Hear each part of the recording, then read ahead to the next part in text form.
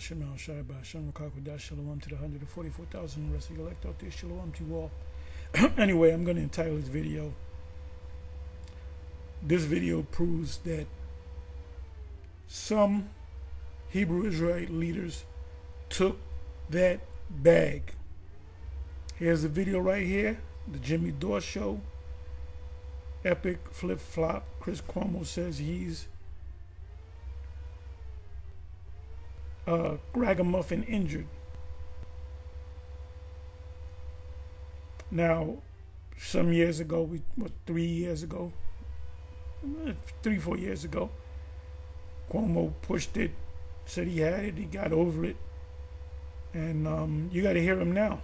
He now uses uh, a particular drug that they made mockery of. Hold up, okay. So anyway, what I'm going to do is I'm just going to leave the link to the description. I mean, in the description box, and you can watch the video. And you think about these Hebrew Israelite leaders that said to go ahead and take it.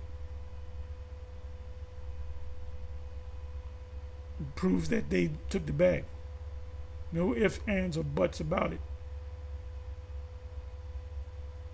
This is what this is what happens when you're a zombie. You fall for any the simple believeth every word. Anyway, with that I'm gonna say shalom.